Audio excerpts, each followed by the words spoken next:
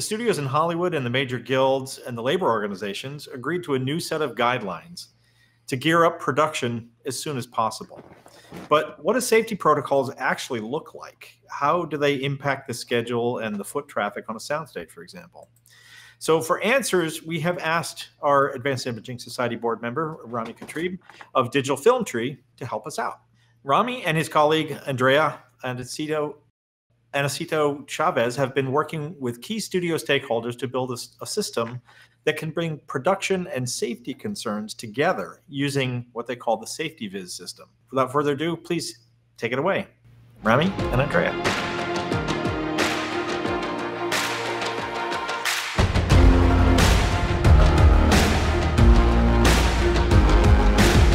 So I am Ramy Kitrib, founder of, C, of Digital Film Tree, and Andrea. I am Andrea Aniceto. I am a producer and game engine artist at Cinecode, the virtual production arm of Digital Film Tree. Um, so at Cinecode, what we specialize in is pre-visualization and final visualization for film and TV and indies. So what we mainly do is we leverage game engine technology in our workflow, um, whether it's Unity or Unreal. And we then go into the game engine and we're able to create scenes in 2D and 3D um, that help pre visualize or tell stories, generally speaking, to even coming up with cinematography, shot lists, and stunt performances, and in some cases, safety. And the idea of Safety Viz from the beginning was to help productions and studios get back to set, get back to the set safely. So we were approached by my friends Eric Weaver and Greg Chaccio.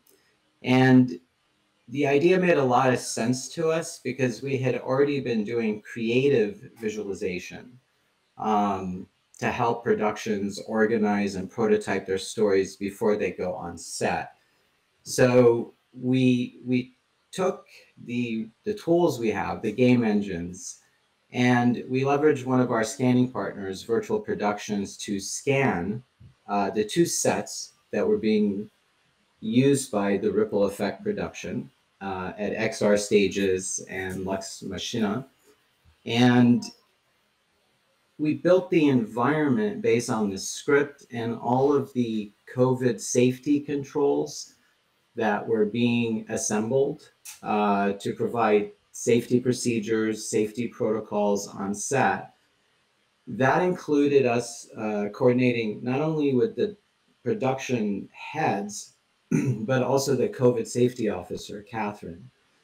So in about a day, we scanned both of the sets. Uh, Andrea started building the environment, and then we presented the environment to uh, the production heads and the COVID safety officer. And one of the most interesting things was right away, it gave everyone visibility to the challenges and the revisions that needed to take place right away. I do. So Ramy mentioned the scans. So these scans were created by Virtual Wonders and they're LiDAR scans. And if you're not familiar with what that is, essentially a LiDAR scan is a scan of an environment or an object per se. And that scan actually has the accurate height and dimensions of a location. Um, so we're actually able to get those measurements and with those measurements, we can actually see like how many people would actually fit on set. And because we had those measurements, we decided to create a variety of different tools that would help guide us in this process. And two of the first tools we created were the ring lights. As you can see in the video, there's a ring light attached to each character. And when it turns red, uh, this is supposed to mean that it's actually below six feet. So that, that way you know they're not being socially distanced, they need to stay apart. And when they're green, like you see on this image here, that means they are more than six feet. And you're actually able to see that data by looking at the bottom right corner of the screen. There is a measurement that's rolling while we are having the characters move. And it's always recording the closest distance to them. So the reason why we created this for the narrative was not only so we could see that data, but also that help drive the narrative. So anytime we would have a session with the COVID safety officer, they would be able to see like, okay, like this needs they need to be more spread apart. Like, can we make them 10 feet instead of six feet? Let's see if there's extra space. So we're able to see that there. And we were able to um, come up with the narratives that way. And then from there, we wanted to make sure that our tools weren't just going to be part of um, coming up with a visual narrative, but also coming up with data that could be used on a call sheet per se, or a way for other people to understand what was going on.